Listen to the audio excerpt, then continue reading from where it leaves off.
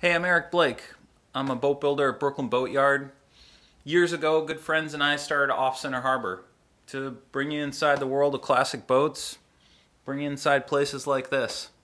Uh, if you like the video, there's hundreds more. Just follow the link in the description below.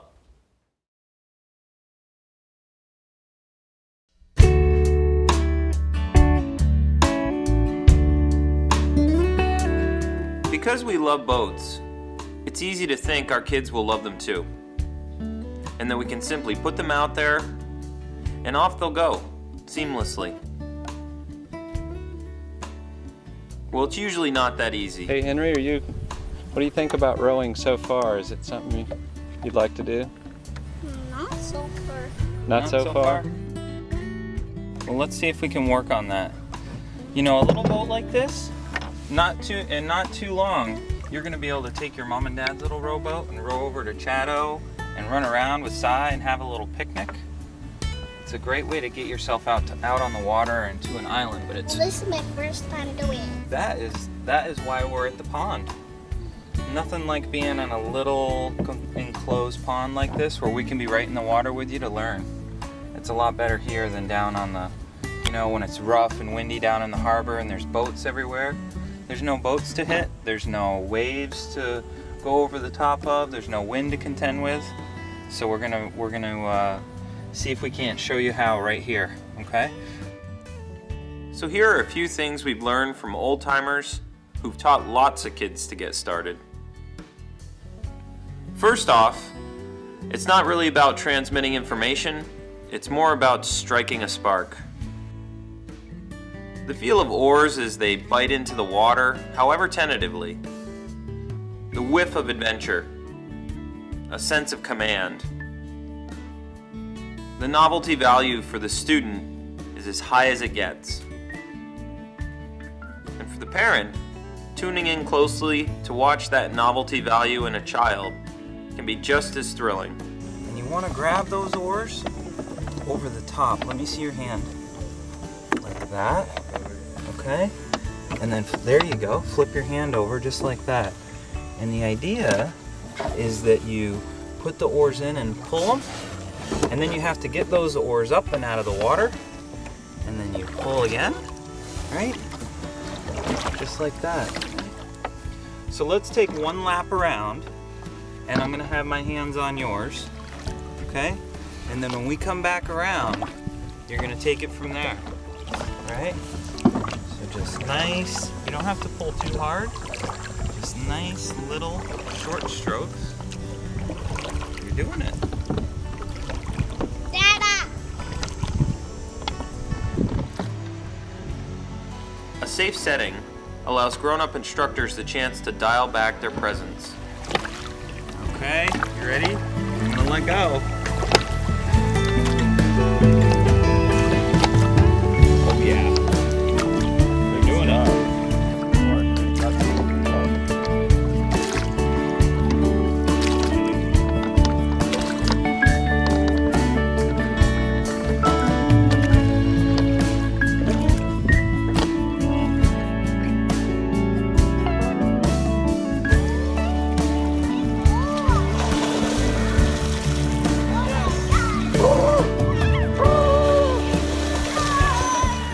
Seems like uh, with a lot of things, uh, they have to do a certain amount of windmilling.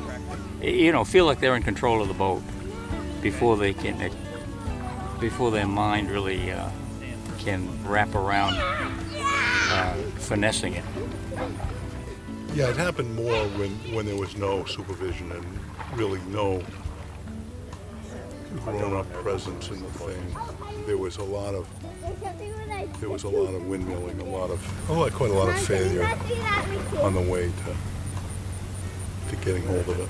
But it's quite a challenge, you know, with whatever means you use, to be out in the boat all by yourself with, with nothing but a pair of oars and get yourself from here to there.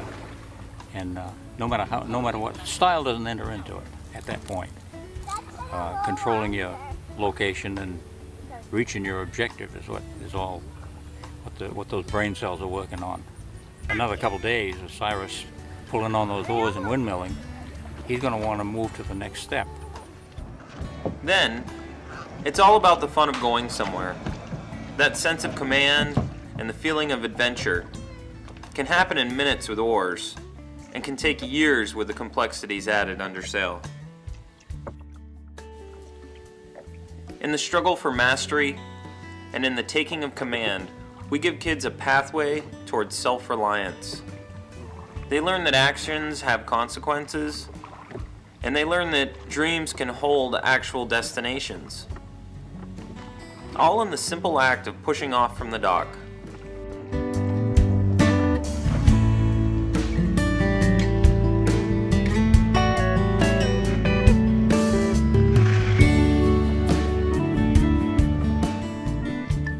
Last winter, we planted the seed that our kids could go off on their own to an island the following summer. Imagine the independence the idea engendered. Imagine how it transformed the way they began to think about boats and the water.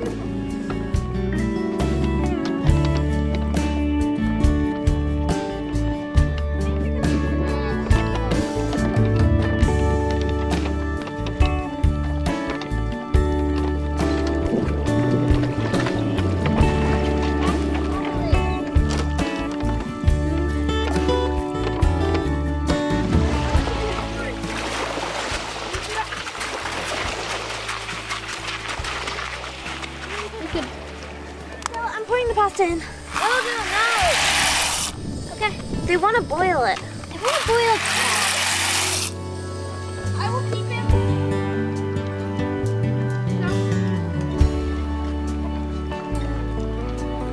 Okay, I have the worst cards. I don't know, sailboats, I guess. When they arrived on their island, and it was theirs by then, it wasn't an hour before they began creating stories and games with just about any little thing they could get afloat.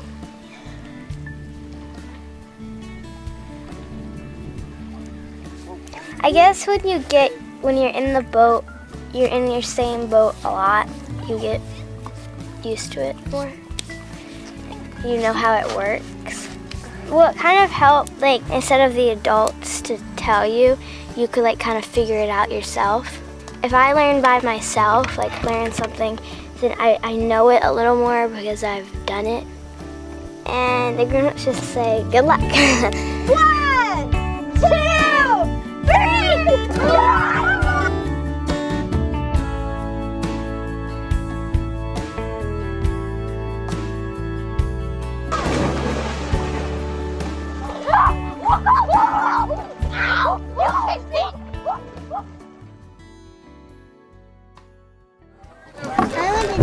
wanted blowing. You did? Yeah. Thanks for watching this video by Off Center Harbor. If you liked it, there's hundreds more. Just follow the link in the description below.